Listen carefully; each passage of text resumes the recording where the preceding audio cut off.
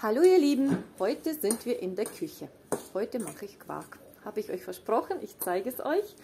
Ja, draußen sind es plus 9 Grad, da kann man nicht viel arbeiten. Deswegen mache ich heute in der Küche Quark, nehme euch mit und zeige euch, wie ich es mache.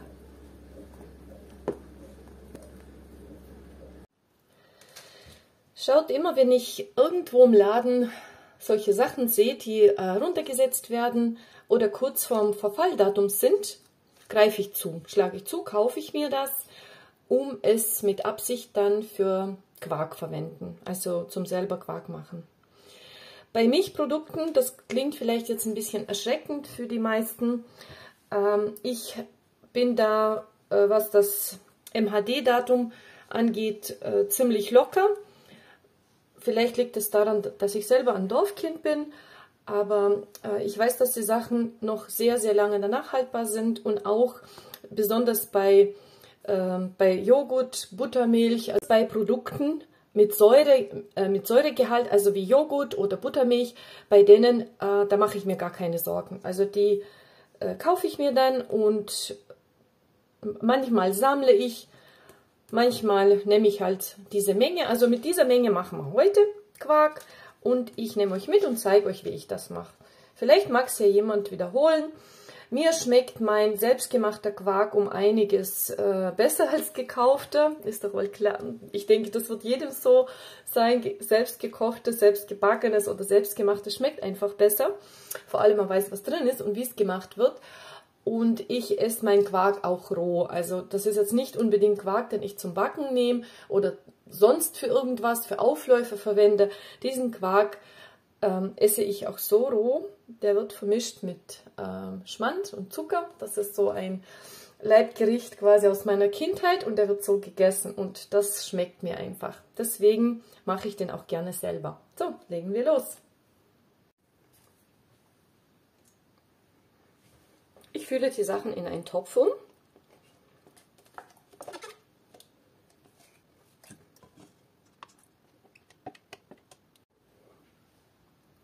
Welche Milchprodukte eignen sich für Quarkherstellung? Also in meinem Fall habt ihr gesehen, das war jetzt ähm, Joghurt, 3,5% Fett. Also man kann die Milchprodukte auch mischen, zum Beispiel wenn man eine offene äh, Sahne hat oder einen offenen Schmand oder Milchbutter und Joghurt. Also es soll schon was ähm, Säurehaltiges dabei sein. Ich äh, kenne aber auch, es machen viele auch Milch, also normale frische Milch. Ich habe selber noch mit keiner reinen Milch äh, Quark gemacht. Also wir haben Quark aus Dickmilch gemacht. Und in meinem Fall habe ich jetzt Joghurt und das kommt jetzt auf den Herd bei schwacher Hitze. Ganz langsam wird es erhitzt. Nach kurzer Zeit fängt die Masse sich an zu verändern. Also mein Herd ist eingeschalten auf 3 von 9. Das ist ja so eine schwache Hitze, aber wie ihr seht, verändert sich die Masse. Immer wieder mal verrühre ich das, damit es gleichmäßig verteilt wird. Also man sieht quasi, wie sich äh, die Masse in zwei verschiedenen Konsistenzen teilt. Also einmal sind es so Klumpchen und das andere ist so ein durchsichtiges äh, wie Wasser. So eine Flüssigkeit. Ich weiß auch nicht recht, wie die Flüssigkeit heißt. Vielleicht auch so eine Art Buttermilch oder so. So, ich lasse das jetzt noch ein Weilchen äh, stehen. Es fängt schon an, äh, richtig angenehm zu riechen nach Quark. Äh, und ich muss dazu sagen, das, was ich jetzt mache, das ist eigentlich, danach habe ich zwei verschiedene Konsistenzen, also zwei verschiedene Zusammensetzungen. Einmal ist es der Quark und das andere ist äh, das durchsichtige, milchige Wasser. Äh, es ist für mich aber ein ähm, ohne Abfall ein Verfahren, weil ich verwende beides. Ich zeige euch dann, was ich damit mache. Und noch kurze Zeit später, bei schwacher Hitze, fängt es an, sich zu teilen. Also man sieht es jetzt richtig gut. Also hier zum Beispiel. Man sieht einfach, wie die Flüssigkeit sich teilt in zwei verschiedenen Konsistenzen. Das ist sozusagen dann die Quarkmasse und das andere, das durchsichtige, ja, ist die andere Masse, wie auch immer sie heißt. Ich weiß es nicht. Ja, irgendeine Art Buttermilch oder hm. genau. Und jetzt lasse ich es noch ein paar Minuten so stehen und dann kommt die ganze Masse auf ein Sieb. Also ich muss die zwei Flüssigkeiten trennen. Alleine nur ein Sieb reicht natürlich bei der Masse nicht. Wie ihr sehen könnt, ist die Körnung sehr fein von der Masse. Deswegen lege ich auf mein Sieb noch ein Tuch. Ich habe jetzt meine Mutter gefragt, das heißt Molke, Entschuldigung. Aber ich wusste es wirklich nicht mehr. Irgendwie habe ich den Namen total vergessen. Jeder kennt Molke. Also man kann es auch so trinken. Äh, ich nehme es zum, äh, also ich backe mit der Molke Brot. Ich nehme es zum Brotbacken statt Wasser.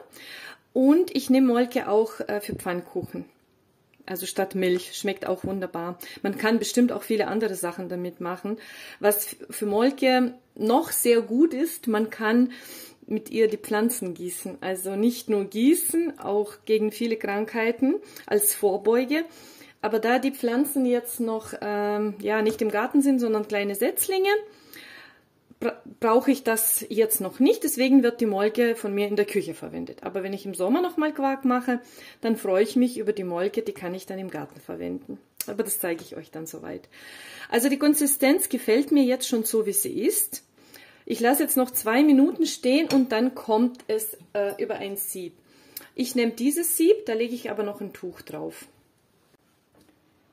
So sieht die Masse dann jetzt aus. Ich werde es drüber gießen. Äh, was vielleicht noch wichtig ist, nicht zu stark kochen lassen. Einfach geduldig sein. Also von neun Positionen auf meinen Herd habe ich es auf der drei äh, erhitzt. Und das waren jetzt ja, 20, 25 Minuten vielleicht. Ich habe ab und zu danach geschaut, ansonsten habe ich meine Arbeit gemacht. Auf niedriger Stufe kann da auch nichts passieren, weil wenn man es ein bisschen zu heiß macht, dann äh, können diese diese Quarkteilchen da drin, die werden einfach etwas ähm, härter und gummiger. Und das möchte ich ja nicht. Ich möchte einen zarten, weichen Quark haben. Das ist mein Sieb mit dem Tuch. Das Tuch ist schon, ja, das gehört schon zum Inventar hier. Das nehme ich sehr oft zum Quark machen. Also vorsichtig langsam äh, drüber gießen. Und was noch wichtig ist, diese, diese äh, Masse kann man dann aufhängen zum Abtropfen. Und wenn man eine trockene Masse möchte, dann kann man es auch ausdrücken. Das zeige ich danach, wie das aussieht. Und wenn man es etwas ähm, ja, feuchter möchte, also einen richtigen feuchten Quark, dann lässt man es nicht so lang hängen und lässt von alleine abtropfen. Also ohne äh, selbst noch dazu beizutragen. Also wie ihr seht, es spritzt ein bisschen, ja, aber das ist halt so. Ich könnte es auch mit dem äh, Schöpfer jetzt rausschöpfen, aber das ist mir jetzt zu lang und zu blöd. Deswegen mache ich es so.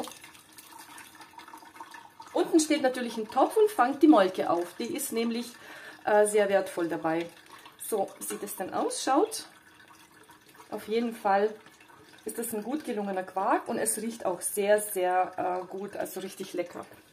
Ja, also so Quark hat meine Oma gemacht, meine Mama. Ich mache es so. Ich weiß nicht, ob meine Kinder das jemals machen werden ja, auf jeden Fall, das ist der Quark, den ich selber mache. So, das Endergebnis zeige ich euch. Ich lasse ihn jetzt erstmal so abtopfen. Und wenn ich merke, dass die Masse nicht mehr so feucht ist, dann wird es zu einem Bündel. So, nach circa fünf Minuten sieht man schon den Unterschied.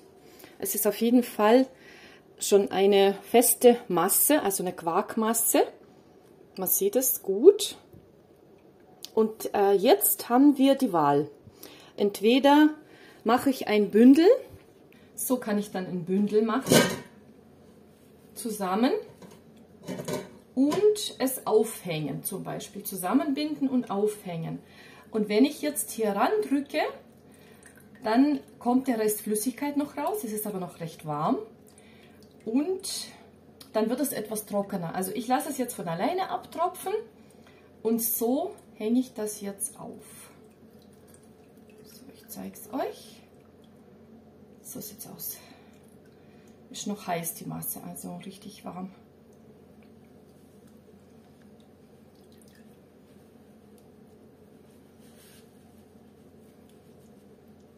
Ja, ein Bündel wie in Omas Zeiten.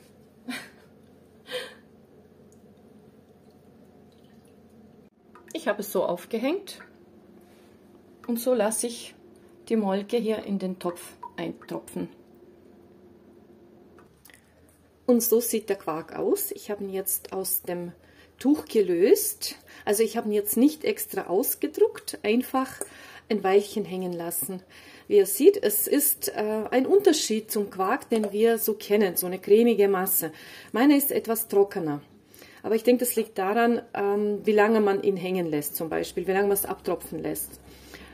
Also das ist sozusagen der Quark meiner Kindheit. Die Molke habe ich in ein Glas gefüllt und das äh, stelle ich in den Kühlschrank. Wie gesagt, ich benutze Molke zum Brotbacken, dazu brauche ich aber nur äh, ca. 350 Milliliter und im Rest mache ich Pfannkuchen. So, und das ist die Konsistenz danach. Ich habe ihn jetzt ein bisschen mit der Gabel gelöst.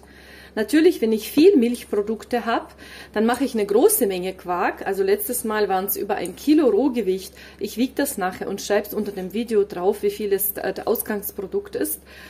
Und dann kann, kann man ihn auch mal zum Backen nehmen oder für andere äh, Speisen. Also mit diesem Quark kann man auch Kochkäse machen. Habe ich auch als Kind oft gemacht. Wir haben den Käse geliebt. Wer kennt das noch oder wer hat das schon mal gemacht? Also mich würde es interessieren, ob das jemand auch so kennt, vielleicht aus der Kindheit oder von Omi. Egal, weil es, ich finde, das ist spannend, wenn man sowas äh, machen kann oder selbst Quark, Käse, da gab es bestimmt auch verschiedene Rezepte vom Kochkäse. Okay, also das ist jetzt mein Quark, das wollte ich euch heute zeigen.